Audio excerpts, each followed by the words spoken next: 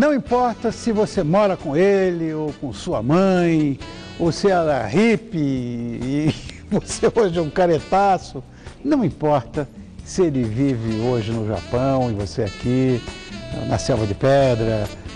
Você já parou para pensar no quanto você é parecido com seu pai? Pois é, hoje nós vamos trocar figurinhas bonitinhas. E para o tema de hoje, tal pai, tal filho, eu recebo, de fato, tal pai, tal filho. Paulo Goulart e o filho, Paulo Goulart Filho. Boa noite. Boa, boa noite. Obrigado, obrigado por terem vindo mais uma vez. Ah, o Paulo está autografando um livro de crônicas para mim, em pleno ar, no que faz muito bem. Obrigado, querido. Bom, você veio a São Paulo nos prestigiar, porque também está envolvido aí numa, numa coisa muito bonita, que é o sétimo Bazar, obrigado, querido, Ah, sim. da Fraternidade. Conta mais para a gente, para quem quiser ir. Ba- Bacana isso. Paulinho, você que fala tão bem, porque eu mesmo falar das coisas que nós fazemos, eu sempre fico um pouquinho inibido, não é? Mas é, é- é uma- é um- é um, é um bazar que a gente já faz há algum tempo e agora temos uma parceria extraordinária. Principalmente, sabe por quê? Nós quê? vamos ter vestidos de noiva a um preço extremamente Ó, acessível. dá uma olhada. E que é a Marie Lafayette. Sim, é a netinha, é. A Marie Lafayette é uma modista que se especializou nesta área. E ela tem uma Lindo. infinidade de vestidos. Ela Lindo, lindo. está fazendo essa doação.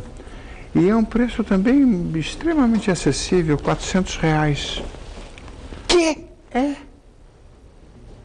Meu Deus do céu. Mas bazar lá- é isto, final de ano é isto, é essa possibilidade de você adquirir coisas que sejam realmente úteis, necessárias, para que você possa propiciar às pessoas essa possibilidade. Eu devo ter aqui mais alguma coisa, deixa eu ver o que mais que tem. A cola que ele trouxe. De tudo. Tá. Joias, birute- bijuteria, acessórios em couro, objetos para o lar, livros infantis, peças decorativas para o Natal, artigos para presente, produtos importados com preços abaixo do custo de mercado. É possível adquirir brincos a partir de 18 reais, colares a partir de 14 reais. Livros a partir de 25. Haverá também um espaço com produtos feitos artesanalmente pela equipe da Casa da Fraternidade, como também produtos doados por voluntários para a entidade, como 300 pares de calçados infantis da Clean a 35 reais.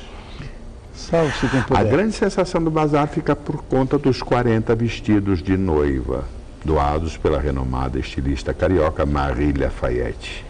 Para aqueles que ainda não compraram o seu modelo para o grande dia, vale a pena conferir, pois cada vestido custa 400 reais. São produtos diferenciados, cheios de detalhes, aplicações em rendas, brilhos e toques especiais.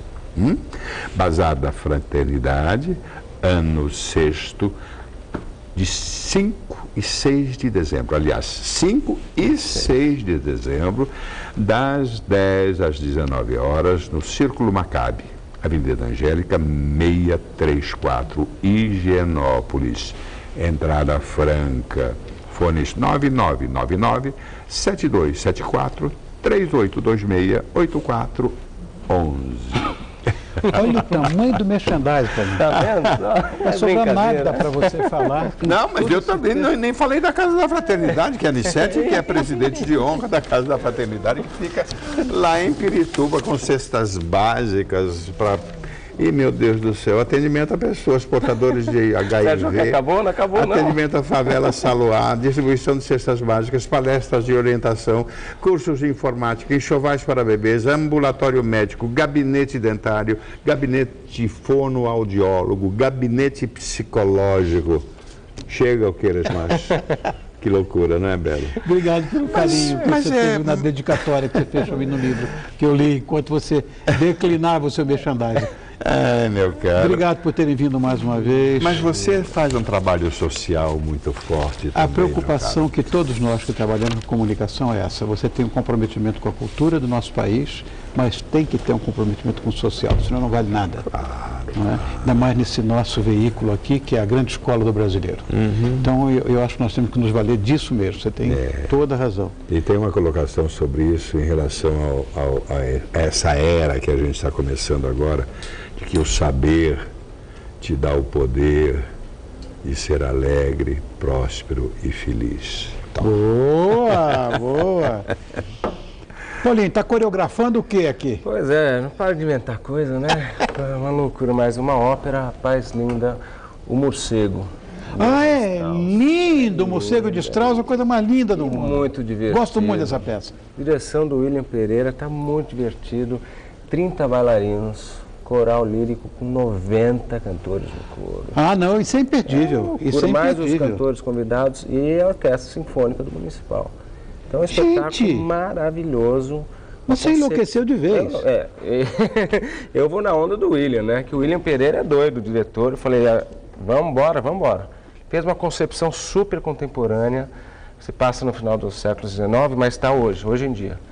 Então, está uma concepção muito bacana. Acho que vai dar o que falar essa ópera. Eu vou dizer, eu gosto muito, muito do Morcego. É, muito, Muito. Tem até desenho animado que eu vi uma vez do Tom e Jerry.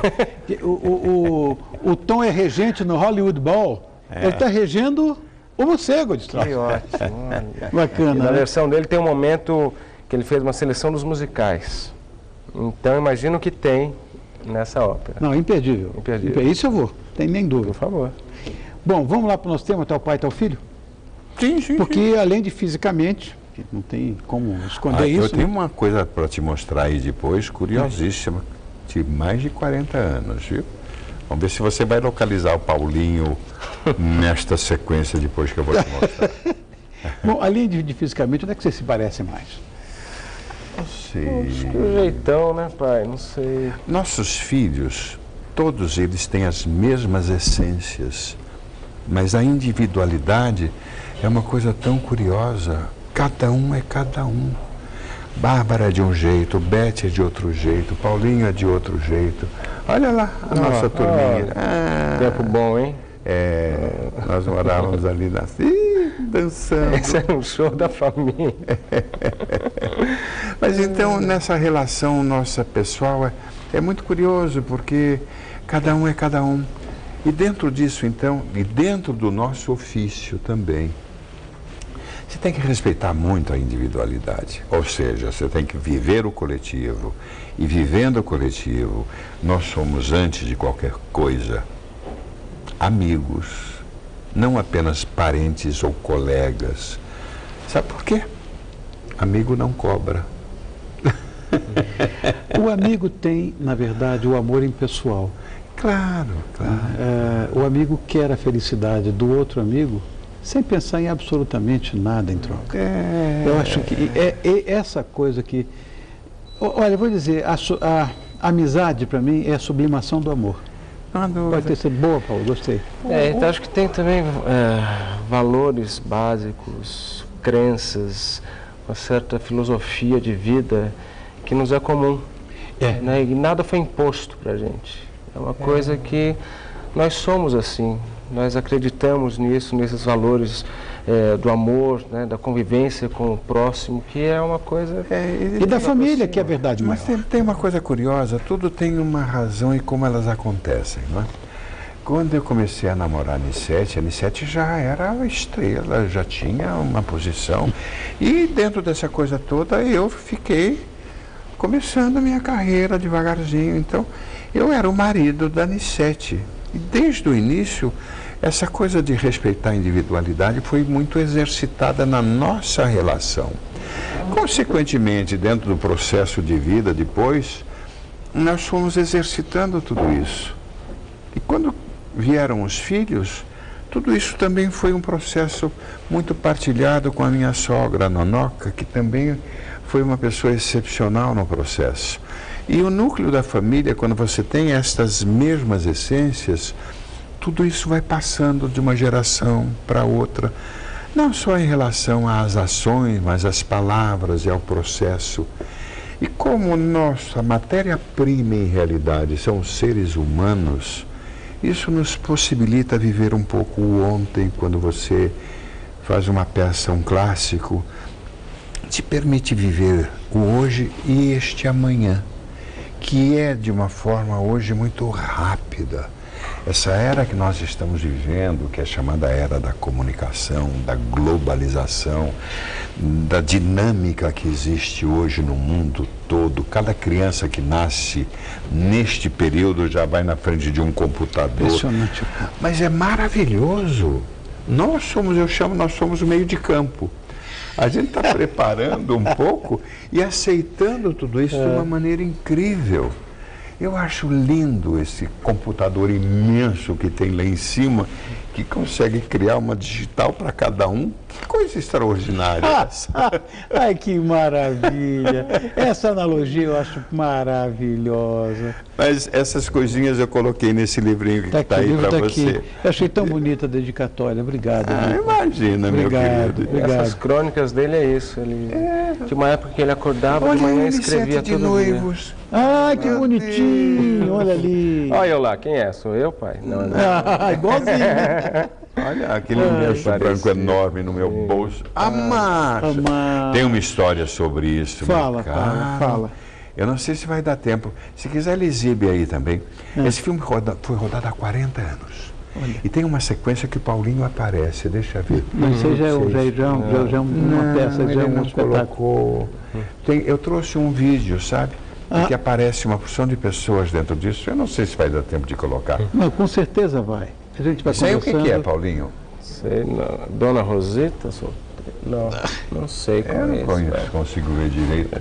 A gente vai ficando velho, a vista vai fazendo assim. ficando velho, você está enlouquecendo. Agora, eu vou dizer uma coisa para você, Bonitão, quando você tiver seus, seus filhos, você vai entender exatamente o que o Paulo está falando, o que eventualmente o Paulinho vai dizer e eu também.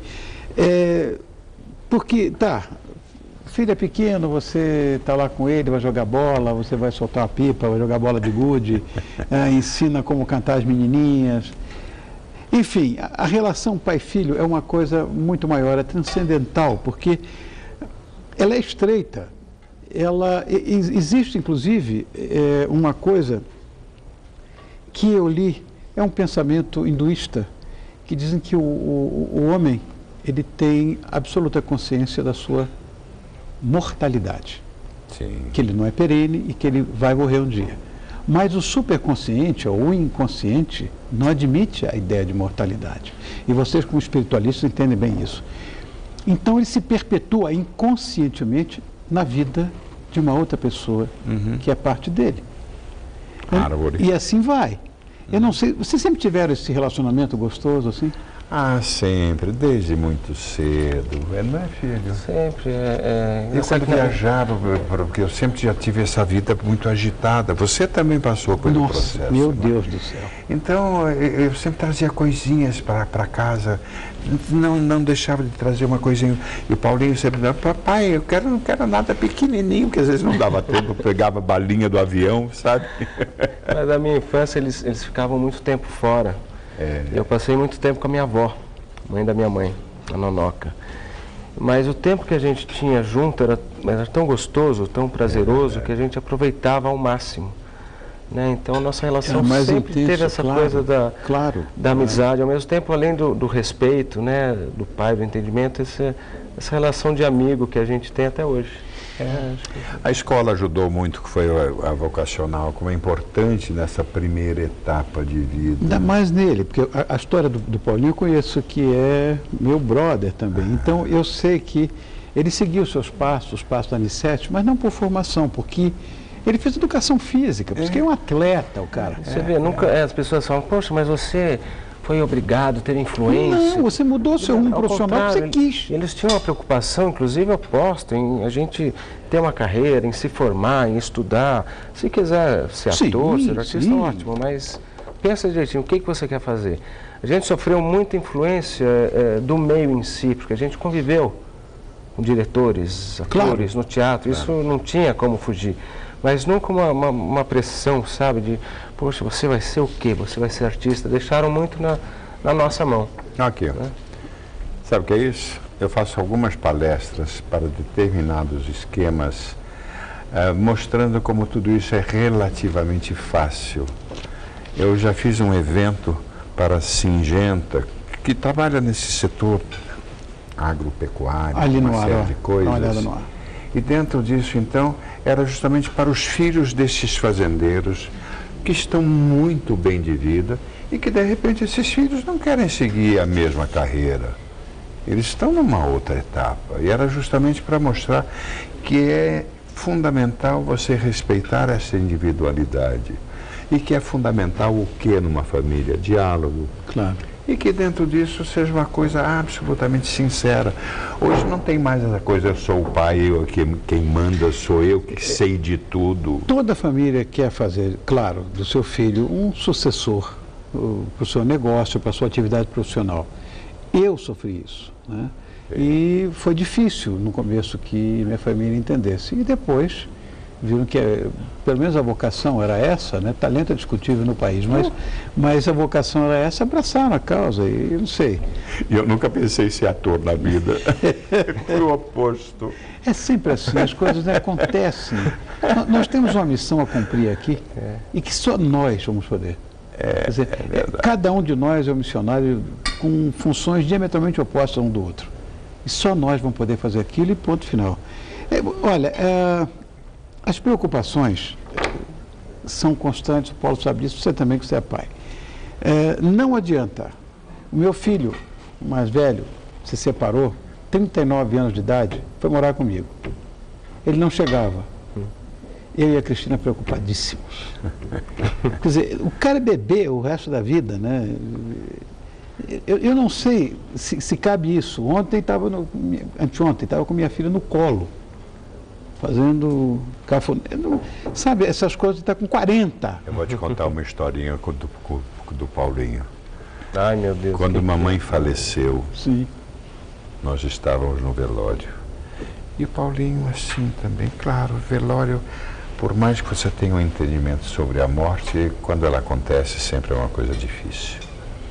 Eu sempre fui uma pessoa extremamente tranquila, sabe?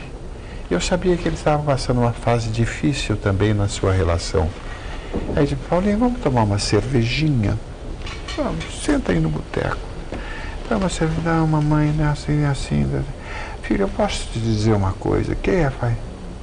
Você não está legal na tua relação. Não se preocupe da minha relação com a sua mãe. O importante é que você esteja bem, para que a sua pessoa com quem você. Olha, em função do dia, como é que eu fui falar deste assunto com ele? Separa, filho. Continue amigo dessa pessoa. Mas para que vocês tenham uma possibilidade, já existia uma filha. Não é, filho? É, mas aí eu falo, entra de novo a amizade. É. Né? É, essa relação de. Foi mais um papo de amigo até do que de pai. Claro, seguro. Com a preocupação de pai, que eu sei o que é hoje em dia, mas a maneira como é colocado para a gente, né, cria também uma possibilidade de escolha sua, sem ser imposto. Claro. Isso que é muito bacana. Claro. E, e essa história, é, a gente quer saber onde é que os nossos bebês estão pisando. Isso é uma coisa que nos preocupa muito. Então, é, nós propomos uma segurança dentro da nossa própria insegurança em relação ao futuro deles. Eu acho que isso é oba, oba, Meu Deus do céu. oba. Que que é isso? Isso não se faz. Que beleza. Agora, eu- eu- quando, quando eu falei dessa história da, da projeção que nós temos na, na- na nossa descendência, dizer, esse- essa tal coisa que eu falei, esse pensamento lá, filosofia hinduísta e tal, muitas vezes eu me transporto, me transporto mesmo para os meus filhos, eu tenho dois homens e uma menina, eu me transporto agora muito mais para o meu mais novo, Sei. é, eu não sei se isso acontece contigo, Paulo. A gente pode até falar dessa história aqui, nós dois. Você quer ouvir dizer? Você já se viu no Paulinho alguma vez? Quando você era mais jovem?